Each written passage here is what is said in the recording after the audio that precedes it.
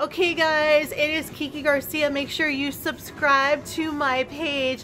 What's going on back here? I am at Sephora. Woo! At JCPenney at Cottonwood Mall because they're getting ready. Prom season is right around the corner. Woo! Beautiful is that? Wouldn't you love a mini makeover or maybe even a new do in time for the prom so you could be prom perfect? Keep watching because I've got details coming up soon. You're going to be able to get a dress, your hair, and your makeup done and it is to be a great prom. Woo! Shoes! We love shoes.